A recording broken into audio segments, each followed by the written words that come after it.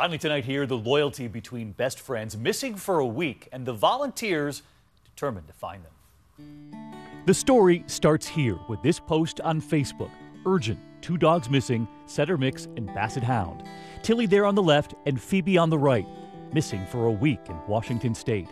Volunteers on Vashon Island, led by Amy Carey, herself a proud dog owner, she understood. A whole week had passed, then Monday, the first call, a sighting just one dog. He called to say that he had a reddish dog that had been coming into his property maybe once a day for the past four or five days briefly. When the man who called tried to approach the dog, not knowing it was Tillie, Tillie would then run off into the ravine.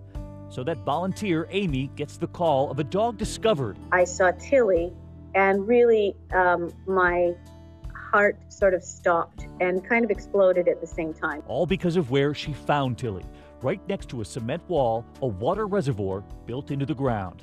She was both scared and you could see a, a, a little flash of relief in her eyes as well.